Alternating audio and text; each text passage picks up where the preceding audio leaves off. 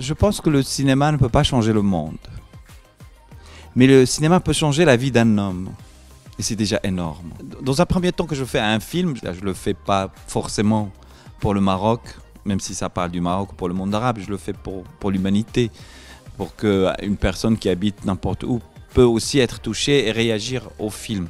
بطبيعه الحال بدون بدون فن وبدون سينما المجالات ما يمكنش نستغنوا عليهم باش باش نطوروا الانسانيه أو باش الإنسانية تزيد لقدام لابد اي بلد باش تكون فيه الانسانيه لابد ما تكون فيه سينما ويكون فيه فن ويكون فيه مسرح Je découvre aussi avec El Gouna quelques productions, enfin quelques productions égyptiennes euh, à partir de ce soir. Euh, ça, j'ai j'ai l'impression qu'il y a une plus avec ce, ce genre de festival arabe, il y a une ouverture sur les films arabes. Donc c'est une richesse pour moi aussi d'être ici parce qu'il y a un certain échange.